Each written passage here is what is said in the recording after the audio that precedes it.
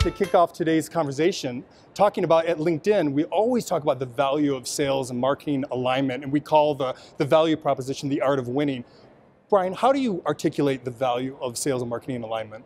I think we're at a really unique intersection between sales and marketing. The technology on the marketing side has come along from the relationship on the sales side.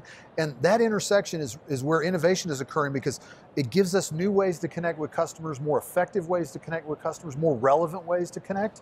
And so I'm really excited about that intersection and that partnership. Tamara, from your perspective, what are the what's been emerging in digital that is really shaping the role of marketers in this effort?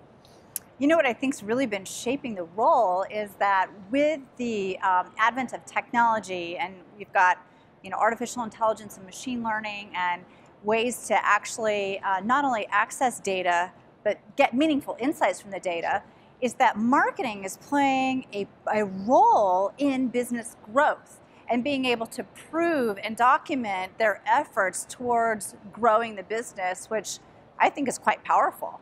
Brian, you've had the unique advantage of being in both sales and marketing Sure. roles. So this disruption, how are you seeing it? It really um, change the role of sales and marketing. Yeah, I think um, the two roles were very separate.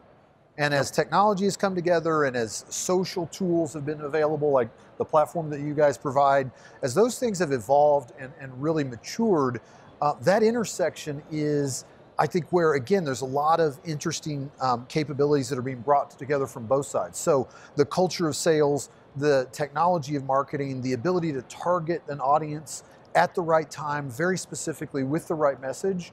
Um, it, it enables the salespeople to be more effective. It makes the marketing more quantifiable, what we just talked about.